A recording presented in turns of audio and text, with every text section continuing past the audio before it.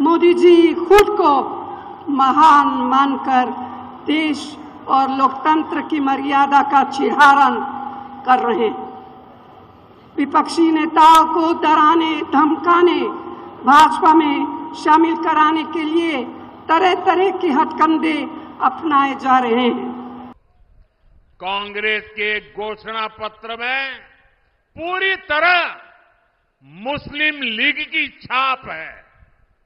और इस मुस्लिम लीग वाले घोषणा पत्र में जो कुछ हिस्सा बचा खुचा रह गया, उसमें वामपंथी पूरी तरह हावी हो चुके हैं।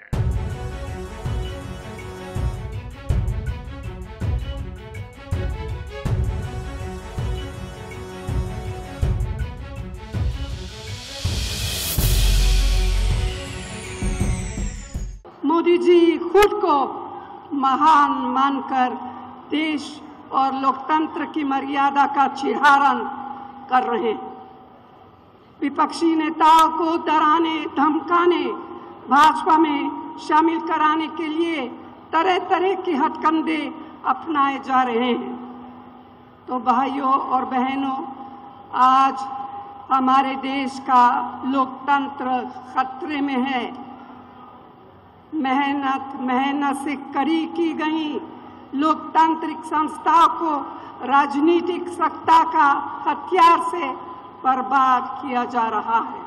यही नहीं, हमारे संविधान को बदलने का षड्यंत्र रचा रहा पूरे तंत्र में भय बताया जा रहा है। यह सब क्या है? ये तो तानाशाही है। और हम सब इस तानाशाही का जवाब देंगे। साथियों, कभी जिस कांग्रेस ने आज़ादी की लड़ाई लड़ी थी और कैसे बड़े बड़े दिग्गज कांग्रेस के साथ जुड़े हुए थे, महात्मा गांधी का नाम जुड़ा हुआ था। लेकिन आज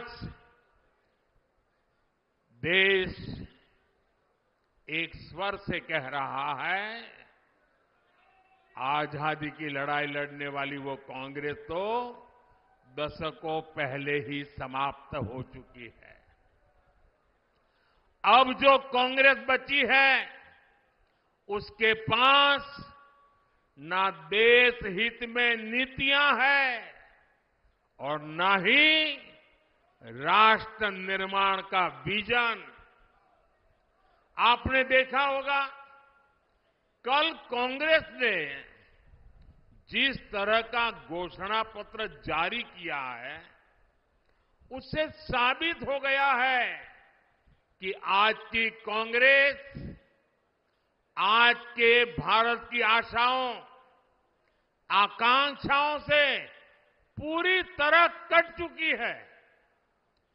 कांग्रेस के घोषणा पत्र में वही सोच झलकती है, जो सोच आज़ादी के आंदोलन के समय मुस्लिम लीग में थी। कांग्रेस के घोषणा पत्र में पूरी तरह मुस्लिम लीग की छाप है। और इस मुस्लिम लीग वाले घोषणा पत्र में जो कुछ हिस्सा बचा खुचा रह गया, उसमें वामपंथी पूरी तरह हावी हो चुके हैं। कुल मिलाकर कांग्रेस इसमें दूर दूर तक नहीं दिखाई देती है। ऐसी कांग्रेस 21वीं सदी में भारत को आगे नहीं बढ़ा सकती।